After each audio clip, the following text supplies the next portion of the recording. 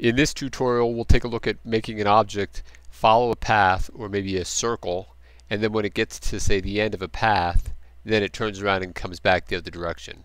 Or if it gets around a circle, and when it gets to the end of the circle, it goes rotating back the other direction. So it creates an oscillating effect.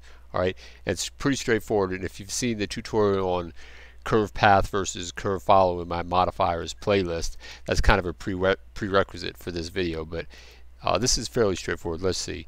So let me just add a circle. So uh, right here there's a Bezier circle like this. And if you've seen from the other video, what I want to do is with the curve modifier, I want to basically pick this object and go up to the modifier button, add a modifier, and add a curve deformation right here like this. Alright, and then I want to pick the curve that I have set in the seam, which is the Bezier circle. Alright, so now it's not aligned to it yet, but it will be here in a second. So what I'll do is I'll press the click the circle, press Shift F S, and move the uh, cursor to the selected. It moves it there, and then see how that's all warped like that. Then I'll click this one, and I'll press Shift S and put the selection to the cursor. Alright, so now it's sitting on the circle like this. If I come down here and press Alt A,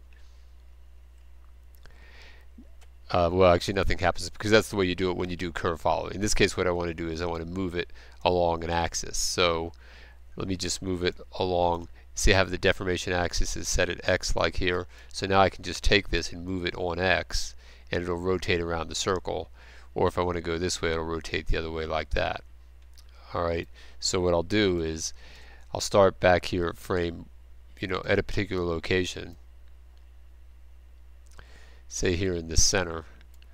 And then th you'll get the idea. It's and then if you don't get the idea already actually. So I'm just going to set uh, with the sphere selected I'll set a location keyframe I and then maybe I'll come up to frame 60 and then I'll move this over till it's basically you know, all the way around the circle like that. You'll have to, you can work on the specifics and then I'll set I again and then set another location keyframe and then maybe up to 120.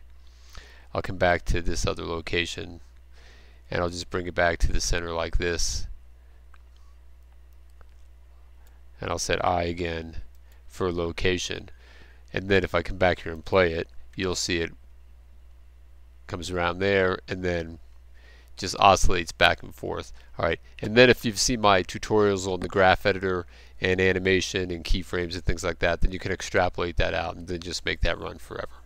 So, you know, maybe we'll just do it because there's only three minutes into this tutorial. It'll only take a second. I'll grab the graph editor right here, an extra window like this, and there's my X keyframe value going there. So we just come down here to this channel mode extrapolation, and I'll just make it cyclic like that and there it is it runs it out like this. And then when we run it cruises around comes back and just back and forth like that. Okay? Alright well that's it for this tutorial and I'll see you in the next lesson